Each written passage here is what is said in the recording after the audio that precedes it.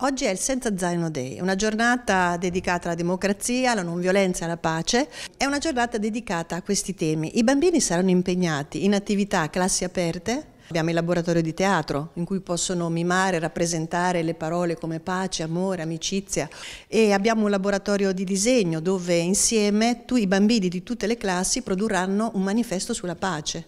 Poi c'è anche il Cineforum, quindi assisteranno a due cortometraggi eh, su questi temi e Abbiamo anche le Olimpiadi della democrazia. Abbiamo una ragazza del CONI che eh, per amicizia nei nostri confronti verrà e organizzerà per i ragazzi la staffetta della pace, eh, il gioco della gioia con la palla. E oggi pomeriggio ospiteremo un ragazzo del Gambia, Jabel, che è un cantastorie e un ragazzo che è arrivato anni fa con i barconi, adesso è un artista e musicista anche affermato. Uniremo tutti i bambini della scuola in un grande agorà e Jabel ci racconterà il suo viaggio.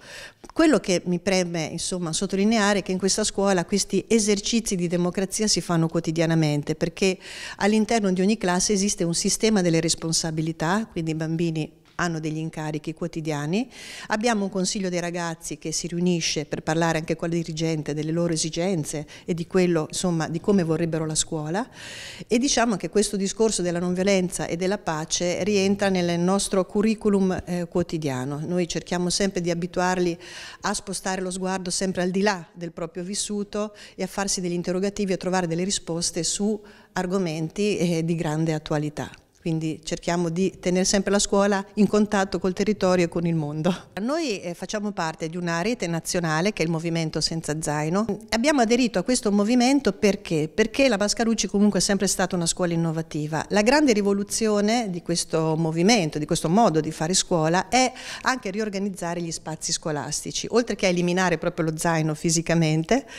E, mh, ci siamo organizzati come in molte scuole europee, per cui non ci sono più i banchi monoposto, abbiamo delle isole, dei tavoli quadrati attorno a cui ci stanno 4 o 6 bambini. I bambini non hanno un astuccio personale ma condividono un materiale uguale per tutti e hanno dei box in cui riporre i loro materiali e quindi portano a casa solo lo stretto necessario. E soprattutto le aule sono attrezzate a laboratorio, quindi abbiamo dei laboratori in cui trovano materiali didattici di matematica, italiano, scienze, arte.